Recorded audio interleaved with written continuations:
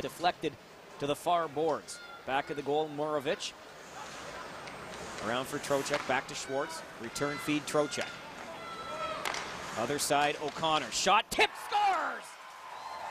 I think it was Schwartz. Murovich was down low as well. But 22 seconds into the power play, and the Spirit strike first. I'm not sure this doesn't go off Jonathan Jasper and into the net as this puck was going well wide of the net. And I think it goes off Jasper's foot and into the net. O'Connor was definitely looking for a tip with this shot regardless and put it where some bodies were.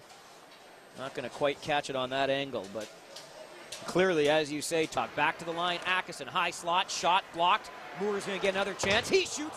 Enborg, Karam. Puts it off the post. Skinner with the chance, and he is stripped in front by Jordan Skellett. The pressure continues. Skinner can't get a shot off, and this time the Spirit will get it out of the zone. In the period, Skinner around the back of the net, the wraparound, and Pasquale has seen that a few many times. The savvy Spirit netminder with the save. Kelly rings one off the outside of the post. The Rangers come to life late, centering in front, and Skinner puts it just wide of the goal. We're into the final minute of the first, and the Rangers come up with another great chance. At the other end, Skellett across, they score! Telegin buries it for the second Spirit goal of the first period, and it's 2 nothing Saginaw. Well, so often how's, uh, how it goes, Michael. Chance at one end, come back the other way, in the back of the net, and some good a good pass by Sanderson starts us, and Skellett slides one down right underneath Kelly and right over to Telegin. Akeson tries to dig it free. Skinner's got it back now. There's a shot. Loose in front to score! MacKinnon shot banged home by Jason Akeson.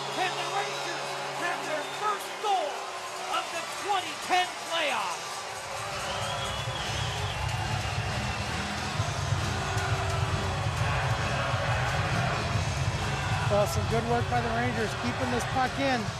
Good battle along the board. Skinner comes out with it, gets it to MacKinnon, who fires. Again, Pasquale unable to find it. Struggling a bit with those rebounds, and there was Jason Atkinson, Johnny on the spot to knock it in. The other way with Cimadamore. Chima Demore shoots! Chima Demore! That is Amore!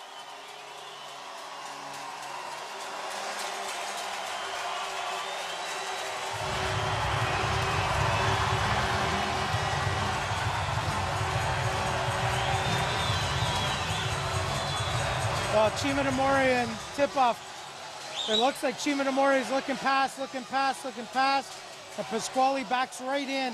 And Cimadamore able to fire one far side on Pasquale over the glove and make this a 2-2 hockey game. That from Hermenegildo.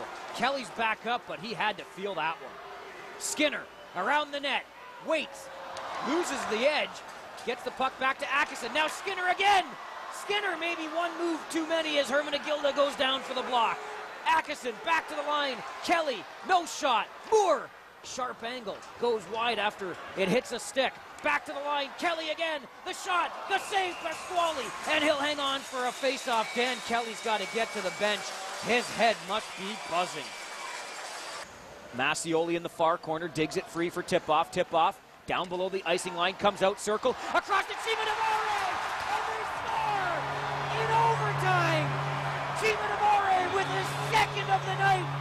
Rangers in overtime.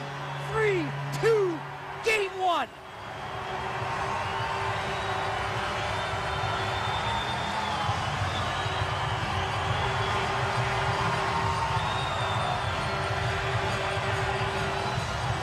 Well, it took a minute 14, Michael, but credit Matt Tipoff for having the patience to walk out and find Cimadamore there.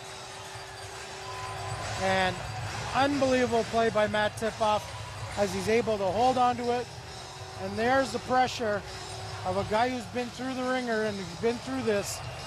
And there's the calmness, and that's what you need. And Cimadamore finishes it after a great play by Matt Tipoff. Well, Torch, we talked about it from the get go tonight, really, from shift number.